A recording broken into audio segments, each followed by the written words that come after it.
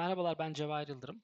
Bu videoda Winchill'de dokümanları toplu olarak bir seferde nasıl indirirsiniz? Ee, bununla ilgili bir örnek göstereceğim.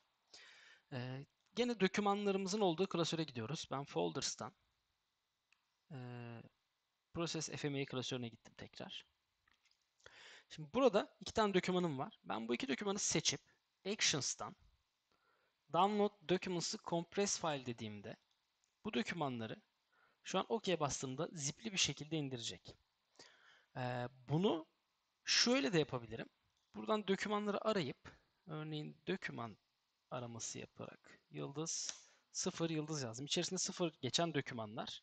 Bu şekilde 78 tane çıktı.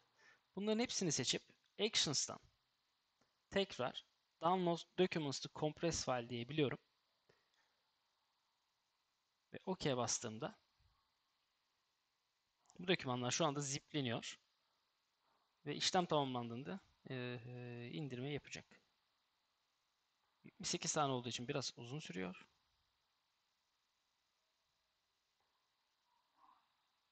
Ve evet, documents content.zip diye oluşturdu.